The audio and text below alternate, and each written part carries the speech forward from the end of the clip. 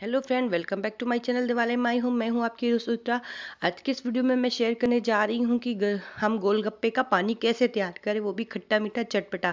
तो देखिए मार्केट में कैरी आ रही है। तो मैंने ये कैरी ली हुई है। इसको पानी डालकर प्रेशर कुकर में तीन से चार सीटी बॉयल कर लिया है मैंने। अब ये ठंडी भी हो चुकी है कैरी तो अब इसका पानी कैसे बनाना है? तो ये देखिए, मैंने इसमें एक गिलास पानी लिया हुआ है। इसको अच्छे से, इसका जो पूरा पल्प है, वो हम अच्छे से निकाल लेंगे। तो ये देखिए पल्प निकल चुका है। अब हम इसमें मसाले मसाले ऐड करेंगे, जिसमें मैंने लिया हुआ है थोड़ी सी काली मिर्ची थोड़ा सा जीरा, एक हरी मिर्ची थोड़ी सी हींग थोड़ा सा हरा धनिया और पुदीना।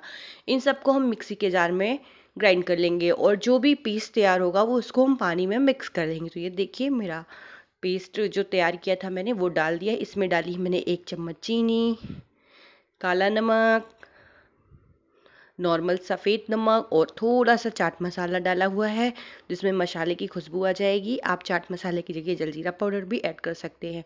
और ये एक आइस का छोटा सा टुकड़ा। तो इस तरीके से ये बहुत ही ठंडा और टेस्टी गर्मियों में मज़ेदार पानी तैयार हो गया है। आप चाहें तो इसे छान भी सकते हैं। मैं तो ऐसे ही यूज़ करती हूँ। जिसको पसंद है वो छान भी सकता है। तो देखिए, हमारा पानी चटपटा ठंडा सा तैयार हो गया है। अब हम इसको गोलगप्पे के साथ में, यानी कि पानीपुरी के साथ में खाना स्टार्ट करेंगे। Thank you for watching my video thank you so much